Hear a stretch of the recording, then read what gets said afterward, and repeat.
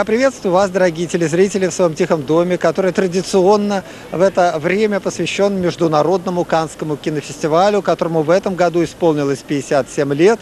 Канский кинофестиваль открывает, конечно же, новую страницу в истории кино. И то, что председателем жюри в этом году был Квентин Тарантино, тоже сказалось на распределении призов, на Гран-при и на Золотой Пальме. Вы уже знаете, кто что получил из информационных агентств, из программы «Время» в частности.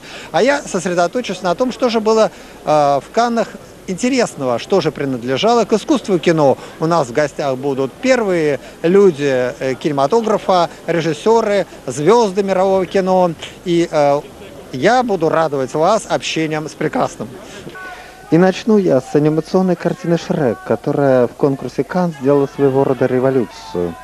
Чтобы мультик был на равных с лучшими картинами лучших режиссеров мира, такого не было никогда. Но Канны позволили себе эту роскошь. И вот в этом году в конкурсе уже «Шрек 2», где традиционных мультипликационных зверюшек окружают персонажи, похожие на людей. Причем компьютерные технологии позволяют сделать их максимально приближенными к действительности. За кадром героев озвучивают только звезды. Они сейчас у нас будут в гостях. Например, Эдди Мерфи, Энтони Бандерас, Руперт Эверетт. Но главное – это наглая антисказочная идеология фильма. С точки зрения авторов, Золушка найдет своего принца не тогда, когда захочет быть принцессой, а когда поймет, что не в принцах счастье, его могут доставить и уроды. Вы чувствуете некоторое противоречие между тем, что вы очень узнаваемы, я имею в виду ваши лица на экране, и тем, что в этом фильме вы присутствуете только своим голосом. Это для вас проблема или нет? Антонио Бандерас отвечает, что это совершенно не проблема, мы профессиональные актеры, и мы используем свое тело для того, чтобы играть, и в том числе и голос тоже. И э, в данном случае голос э, экспрессивен, э, он более экспрессивен, чем в нормальном кино. Это хороший опыт. Мы можем э, быть более выразительными и использовать э, голос для того, чтобы быть более свободным. Это все э, здорово. Вы согласны? Я спрашиваю Эдди Мерфи. Да, я тоже так думаю. Для меня э, основная профессия это не мелькать на экране. И не то, как я выгляжу на экране. Э, мне важно что-то передать э, э, своей игрой, чтобы зал вибрировал вместе со мной, чтобы переживал, реагировал. Oh, let's keep him. Say what? Come on, Donkey. Look at him in his wee little boots. Oh. Donkey. I'm melting! I'm melting! Привет, привет.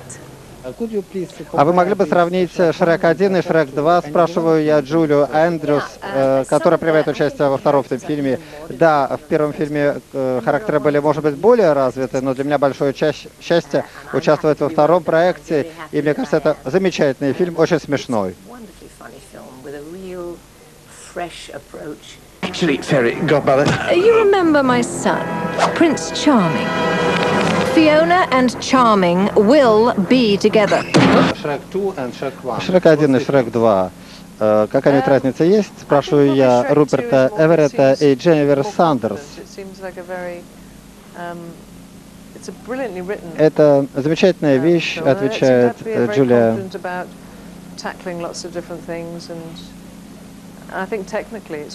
Это потрясающе технически, да, говорит Руперт. Это гораздо лучше, чем прошлая картина с технической точки зрения, мне кажется. Ну и, конечно, хорошая игра актеров.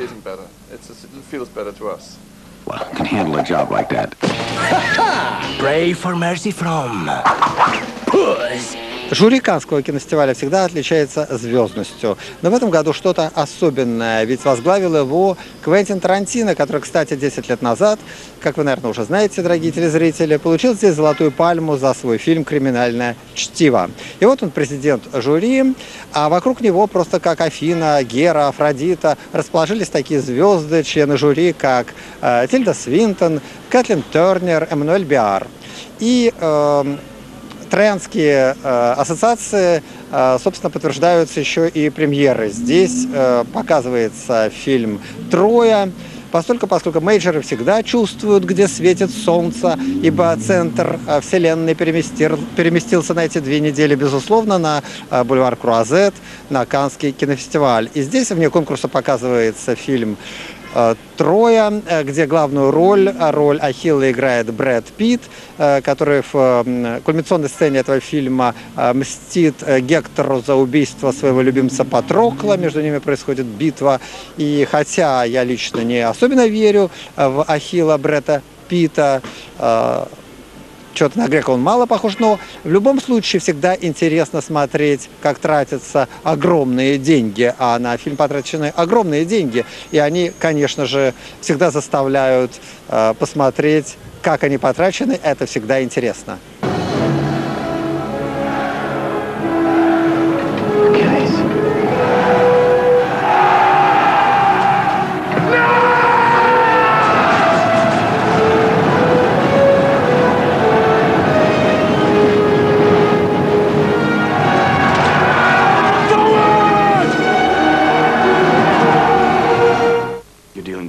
Конечно, в Ахилла Брэда Питта веришь трудом, но говорит он, как всегда, правильные вещи, что в фильме э, мы имеем дело со всеми правильными вещами нашей жизни, с такими, как вопросы добра и зла, чести, личного достоинства.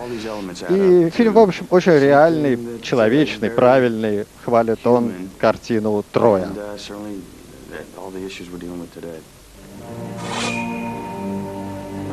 Ah!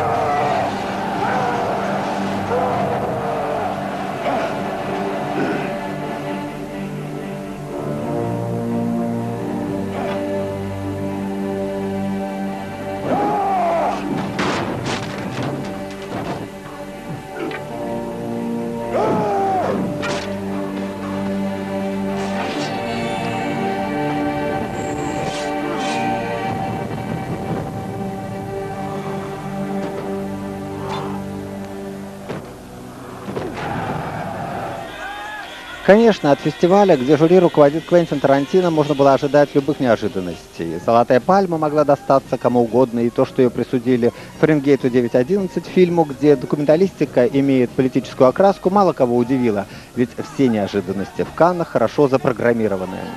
Но постоянство радует тогда, когда связано с прекрасным. И то, что «Золотая пальма» от Шапар по-прежнему венчает победителя, это великолепная традиция. Равно как и звезды на Канской лестнице, где Вирджиния Ледвоен, как всегда, в обнимку с Конклин, которая в этот раз блистала серьгами из коллекции «Золотые бриллианты», а член жюри Эммануэль Биар появилась в ожерелье из овальных сапфиров и бриллиантов, а Кэтлин Торнер надела на себя драгоценности весом аж 50 карат.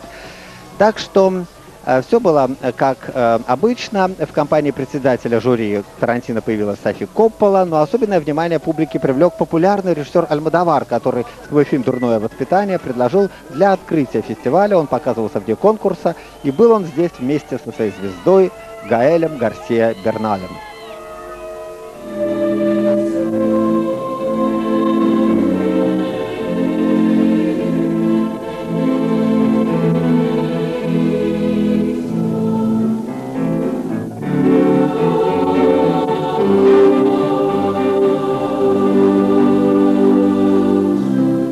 Канский кинофестиваль, конечно, не только приглашает звезд, но и делает их. И, конечно же, э, вот э, в этом году одной из самых ярких был Гаэль Гарсия Берналь, э, который снялся в фильме у Педро Альмадавара «Плохое воспитание» или «Дурное образование». Им фестиваль открывался. Он играет там одну из ключевых ролей, а кроме того, на фестивале был показан фильм «Дневники мотоциклиста» режиссера Саласа, где эм, Гаэль Гарсия Берналь тоже играет главную роль, причем э, Че Гевары, молодого Че Гевары, который решил э, посмотреть э, латинский континент, Латинскую Америку, континент, который ему достался как бы от рождения, чтобы понять, есть ли у него в его судьбе какой-то смысл родиться на этом континенте. Так или иначе, господин Берналь сейчас у нас в гостях. Привет, привет.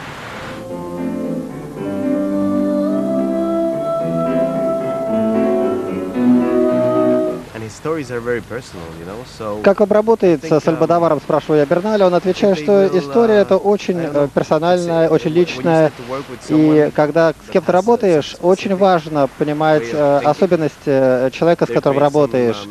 Но это правильно, правильный процесс. Вы должны интерпретировать режиссера, ведь это очень важно. Эта работа.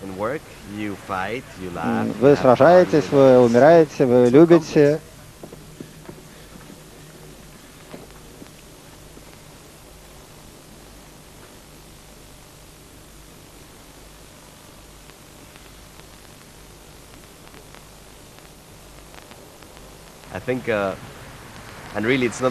А на вопрос, э, когда бы он хотел родиться, Берналь отвечает очень романтично.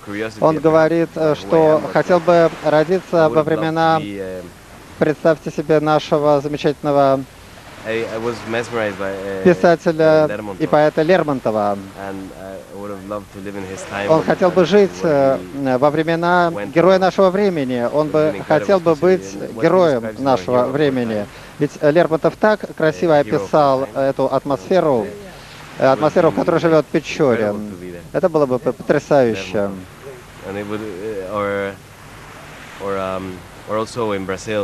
Также я хотел бы пожить в Бразилии в древние времена. Э, я бы хотел быть ацтеком. И, и быть человеком, который изобрел колесо.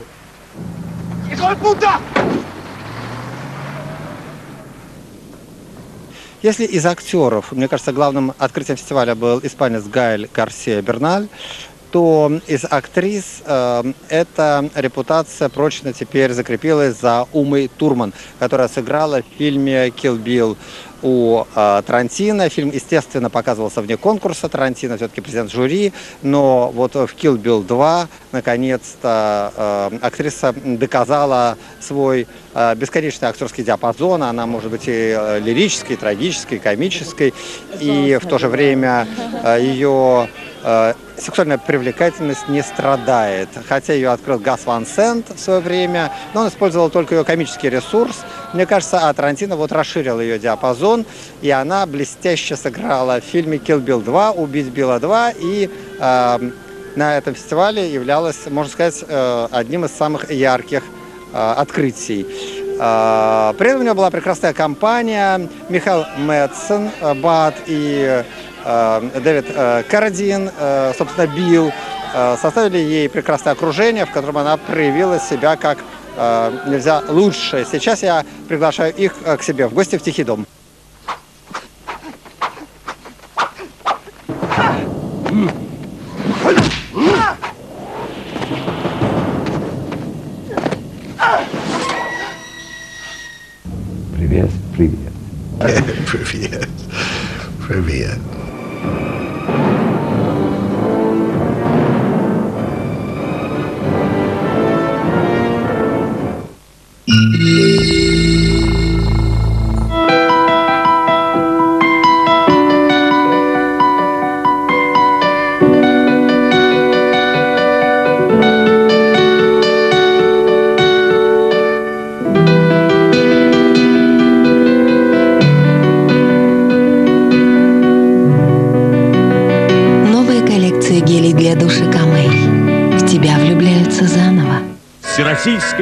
«Честная игра» разыгрывает джекпот более 1 миллиона долларов. Сумма джекпота постоянно растет.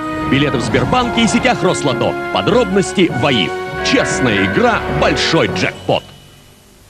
Да, я снова это сделала. У меня новый цвет волос. Я знаю, о чем вы сейчас подумали. Как же она не боится за свои волосы? И они выглядят потрясающе. Может быть, даже лучше, чем раньше. Заботы Никаких у меня есть пантин, с которым мои волосы выдержат все, что угодно. Я не знаю как, но пантин действительно работает. Заботится о моих волосах. Красота моих волос в его руках. Пантин. Новый аромат безупречной чистоты. Доместос – цветочная свежесть. Попробуй Евроманию от Принглс. Собери три фольги. И выиграй плазменный телевизор или получи мяч от звезд футбола Бартеса, Дель Пьеро, и не Столероя. Выигрывай Спринглс. Получи мяч от звезд. Новый LG G7050 с уникальным стильным слайдером, большим сверхчетким цветным дисплеем и фотокамерой. Это открытие новых ценностей в миниатюрном размере. LG G7050. Открыт для общения. LG. Внимание! Встречайте новый шариковый антиперспирант «Секрет». Он подарит тебе непревзойденную защиту, бальзам, смягчающий кожу и устойчивый аромат на целый день. Тройная защита на целый день. Такая тоненькая. Кажется, ее и нет совсем. Но она есть. Совсем как дискрит. Она такая тонкая, что я совершенно ее не чувствую. Все, что я чувствую, это свежесть, которую мне дарят новые ароматизированные Дискрит Део. Дискрит Део. Тонкий аромат на каждый день.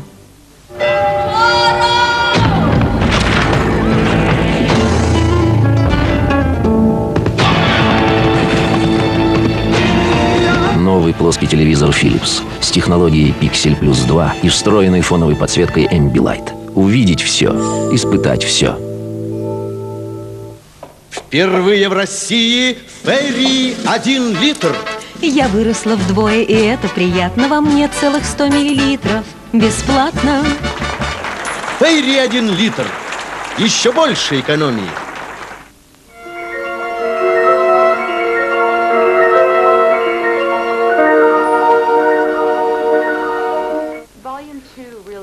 А вот и звезда Ума Турман, которая рассказывает о том, что вошла в этот фильм, убить Билла просто всем своим телом, и э, до истерического возбуждения его просто возбуждали, довели актеры, которые там были, такие как Дэвид Мэтсон, Дэрил Ханна, и, конечно, битва между ними, и в конечном итоге встреча с Биллом.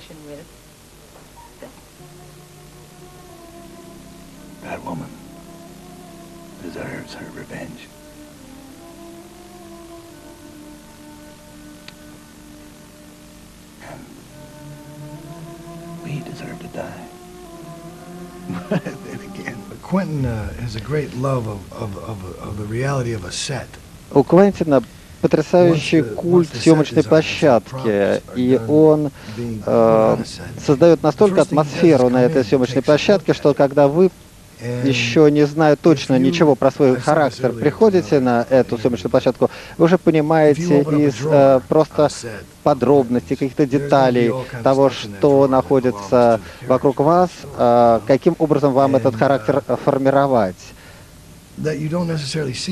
Так probably умеет работать с актерами, что в жизнь э, персонажа э, войти э, достаточно просто, потому что вот эти детали, которыми он нас окружает, э, вот эти полки, на которых э, стоят альбомы, это все что угодно, малейшие детали, они дают ощущение жизни.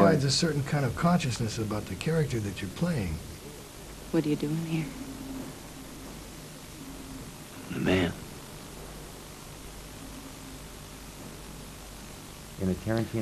У Тарантино не бывает э, хороших парней, у него только плохие парни, говорит Карадин. Но зато вы их всех любите при этом.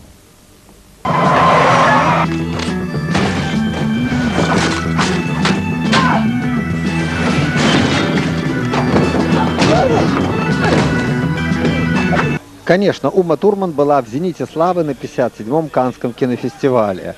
Виданное ли дело на просмотр фильма с ее участием пришла сама Катрин Денев, причем была очень элегантно, надела ожерелье, в котором были совмещены бриллианты э, грушевидной формы и бриллианты в форме сердечек. Причем все они окружали огромный алмаз изумрудной окраски желтоватым оттенком. Фильм Тарантино посетил и председатель короткометражного жюри Никита Михалков, опровергая тем самым слухи, что с Тарантино они никогда вместе ничего и ни за что. Вообще Никита Михалков смотрел почти все значительные фильмы, а в обществе его постоянно находился на сей раз Михаил Задорнов, имеющий, в отличие от большинства юмористов, вовсе не мрачное выражение лица. Хотя русских фильмов в этом году в конкурсе не было, но тем не менее русское участие в Каннской летописи ощущалось. Во-первых, это документальный фильм «Одя» ученика Алексея Германа и Светланы Кармалиты Эдгара Бартенева. Фильм в престижной программе «Двухнедельник режиссеров» секция короткого метра. Представлял его продюсер Вячеслав Тельнов. И это фильм «Шиза» по сценарию Сергея Бодрова-старшего и режиссера Гуки Амаровой. В программе «Особый взгляд». Фильм снят на русском языке, хотя у него и казахское, и русское, и французское участие. И, конечно же, открытие последнего времени – это режиссер Артем Антонов и его фильм «Столичный скорый» в программе «Выбор критики. Короткий метр». И тут тот редкий случай, когда мое мнение совпадает с мнением критики.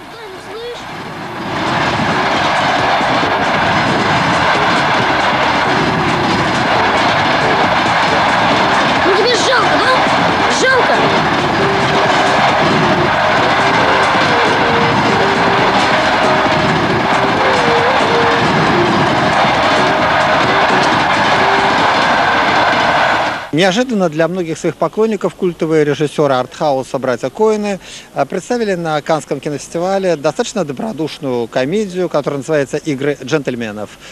Неожиданно для себя сыграл в этом фильме тоже добродушную комедийную роль и драматический актер Том Хэнкс, который исполняет иногда и трагические роли. Во всяком случае, наша аудитория знает его э, хотя бы по фильму «Филадельфия», где он играет достаточно трагическую роль.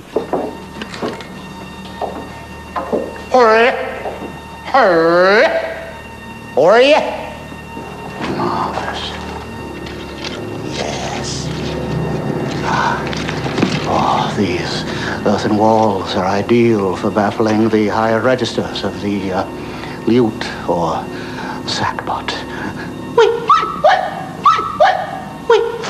sackbot. В России вы хорошо известны как драматический и даже трагический актер, например, ваша роль в фильме «Филадельфия». А сейчас вы решили помеч- поменять свое актерское амплуа. Э, Как это было важно для вас и зачем? Я думаю, что для актера, профессионального актера важно на- пробовать себя в разных амплуа и пробовать себя в разных ролях, э, в разных жанрах. Мне было бы скучно, если бы я все время играл одну и ту же роль, один и тот же характер. В этом не было бы ничего творческого, мне кажется. Мне кажется, э, что артист должен делать э, какой-то вызов. э, И я не ищу сейчас э, того же самого, что я уже делал. Я хочу удивлять зрителя, и вот комедия в этом смысле для меня кажется новый жанр, в котором я бы мог порадовать свою публику. Хочется быть новым, и хочется радовать свою аудиторию. Свежим хочется быть. Так часто э, публика приходит в зал и говорит, о, э, мы уже видели, э, он сыграл опять то же самое. Нет, я отношусь к другим актерам. И я скучаю на таких фильмах.